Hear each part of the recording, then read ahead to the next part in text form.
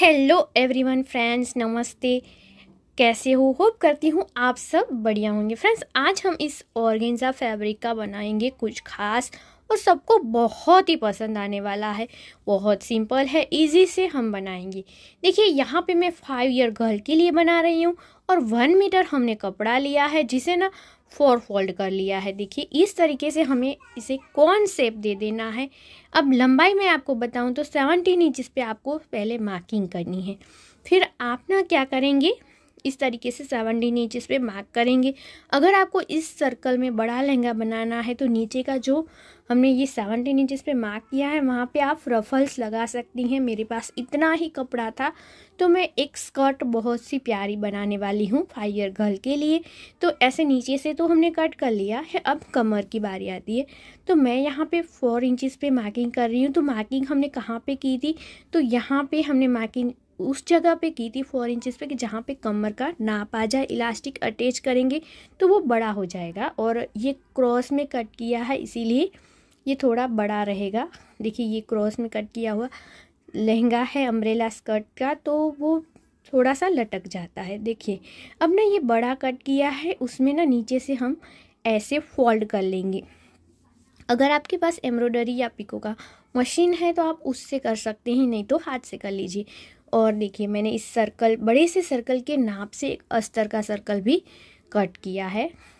क्योंकि मुझे ना ये स्कर्ट खिला खिला रखना था। आप देखने जाएँगे मैक्स में ट्रेंड्स में बड़े बड़े मॉल में, ये 400 से 500 की होगी और ये हम घर पे बहुत ही कम प्राइस में बना लेंगे। नीचे से हमें ये अस्तर भी फोल्ड करना पड़ेगा। और ये जो डिज़ाइन है बहुत ही क्यूट है ना। उसमें जो सितारे लगे हुए हैं, कितने प्यारे लगे हैं। जब छोटी बच्ची ऐसे पहनती है और ठुमक ठुमक के चलती है तो कितनी प्यारी लगती है ना। अब ना ये अस्तर का भी नीचे से फोल्ड कर लिया है। उसके बाद हमें मेन जो ऑर्गेन्जा फैब्रिक है उससे भी लेना है और दोनों सर्कल को जोड़ लेना है। देखिए, ये फुल सर्कल मैंने शर्ट मतलब स्कर्ट बनाई है। तो अगर आपको फुल स्कर्ट में सर्कल नहीं कट हो रहा है तो दो हाफ़ हाफ़ सर्कल भी आप कट कर सकते हैं कम कपड़े में। देखिए, दोनों को जोड़ लिया। अब बारी आती है इलास्टिक की। तो इलास्टिक के लिए हमने ऊपर का जो नेफे का पार्ट होता है, वो कैसे कट किया है?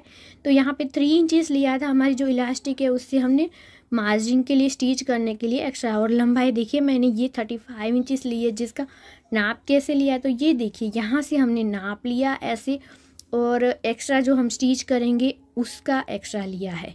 तो यहाँ पे इसे ऐसे जोड़ लेंगे। तो ये जोड़ लिया, उसके बाद हमने हमारी बेटी की जो कमर थी, उसका नाप ले लिया। और इलास्टिक जो है, वो हमने वन इंचज़ कम कट की है। नाइनटीन इंचज़ की हमारी इलास्टिक है, जिसे हमने ऐसे जोड़ लिया है। अब हमारा जो बेल्ट का पार्ट है ना ऊपर का, उसे ऐसे फोल्ड करें और इलास्टिक के पास ही हमें स्टिच करना है। इलास्टिक के ऊपर स्टिच नहीं करना है। और इलास्टिक को खींचते हुए हमने देखिए पूरे राउंड में स्टिच की और एक सेंटर में स्टिच कर लीजिएगा ताकि आपकी इलास्टिक बिल्कुल भी फोल्ड नहीं हो जाएगी। अब ये जो हमारा स्कर्ट है, उसे इस तरीके से अंदर लीजिए और नीचे का और इलास्टिक वाला पार्ट पकड़ते हुए और खींचते हुए पूरे राउंड में स्टिच कर लीजिए।